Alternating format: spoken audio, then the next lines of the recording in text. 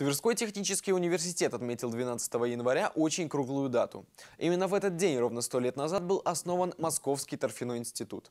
Именно он после перевода в Калинин и стал впоследствии знаменитым далеко за пределами Верхневолжья политехом.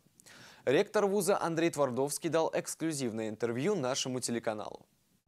Начиная с 12 января 1922 года Московский торфяной институт функционировал в составе сельхозакадемии имени Тимирязева, а затем Московской горной академии. В 30 году он стал отдельным вузом, который в 58-м перевели в Калинин. Здесь были очень большие запасы торфяные. Это был основной топливный источник э, в то время.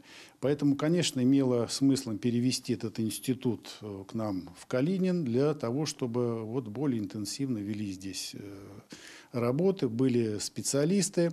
В 1972-м Калининский торфяной был награжден орденом Трудового Красного Знамени. К этому времени здесь появилось довольно много новых специальностей, поэтому ВУЗ реорганизовали в Политехнический институт. В 1994 году он получил статус университета, в котором функционирует и по сей день. Сейчас тут на семи факультетах учатся около 6 тысяч студентов. Подготовка ведется по очень большому спектру направлений. Это 30 направлений бакалавриата, 5 эм, специальностей, 23 направления подготовки магистров, 16 направлений подготовки аспирантов.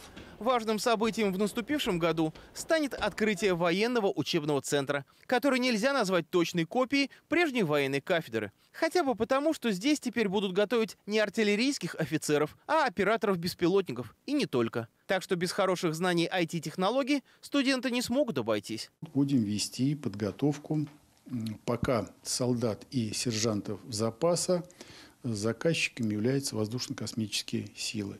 Вообще у нас IT-кластер очень сильно развит в нашем университете. Туда входит НИИ-2 и Академия. Мы с Москвой очень интенсивно работаем. К слову говоря, результаты профессиональной работы вуза заметны и на международном уровне. На протяжении последних лет ТВГТУ входит в целый ряд престижных зарубежных рейтингов, где занимает достойные позиции. Неудивительно, что среди иностранных студентов здесь можно встретить не только представителей привычных уже Африки и Азии, но и таких стран, как Израиль и даже США.